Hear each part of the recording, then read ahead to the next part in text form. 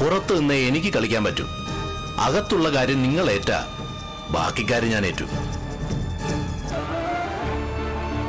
മോഹനോട് അനുമോൾ കൂടുതൽ അടുക്കുന്നതിൽ ഉള്ളിൽ ഇത്തിരി കുശുമ്പ് നിനക്കുണ്ടല്ലേ?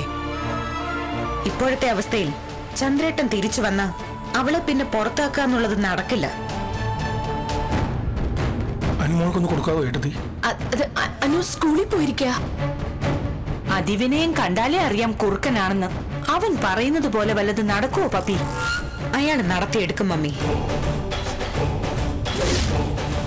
ഈശ്വര എന്റെ കുട്ടി?